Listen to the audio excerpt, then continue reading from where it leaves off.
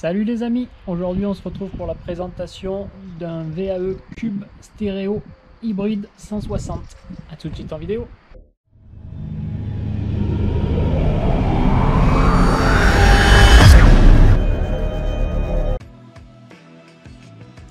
Aujourd'hui pour ce deuxième buy check abonné, on présente le vélo de Claude, un joli stéréo hybride 160 HPC TM de chez Cube.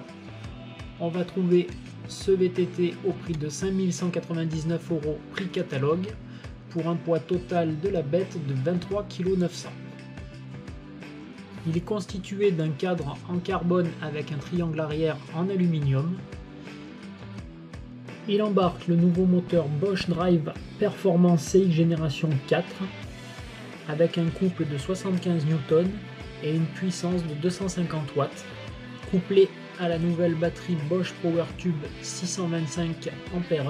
Question autonomie, euh, Claude n'est pas allé euh, jusqu'au bout de la batterie, mais d'après lui, on pourra aller euh, aisément faire 70 km avec. Pour gérer tout ça, il intègre le nouvel ordinateur Bosch Kiosque.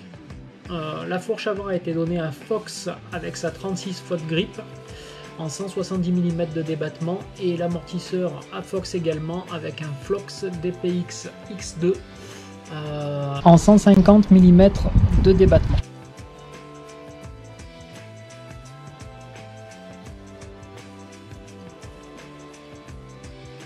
Euh, la transmission, quant à elle, a été donnée euh, en grande partie à SRAM avec son groupe NX, sauf le pédalier qui lui est un E- E13 plus crank avec un plateau de 36 dents. On a un freinage assez haut de gamme avec les Magura MT7 avec des disques de 203 avant-arrière, des freins 4 pistons euh, de très haute qualité. La tige de sel, la potence, les grippes sont données à cube. Euh, je connais pas, je pourrais pas vous faire de retour là-dessus.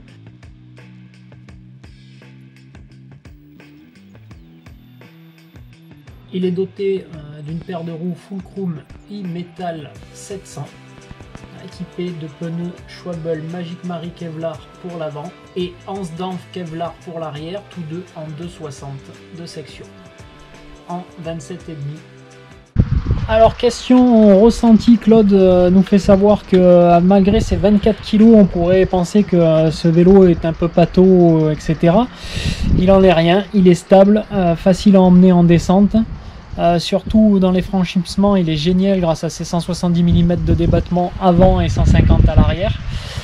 En montée, il cabre pas. Il a, grâce au moteur Bosch qui fait des merveilles dessus, il a un pédalage assez rond dessus, un freinage bien puissant.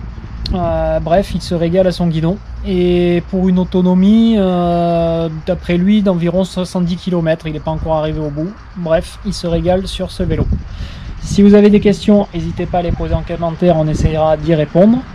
Si vous avez envie de participer au buy check abonné de la chaîne, n'hésitez pas à me contacter euh, par mon mail vttattitude.orange.fr. Comme vous avez vu, c'est pas trop contraignant, juste des images de vos composants et autour du vélo. Et moi, je m'occupe du reste afin de vous faciliter au plus la tâche. Allez, moi je vous dis à plus pour une prochaine vidéo. Ciao tout le monde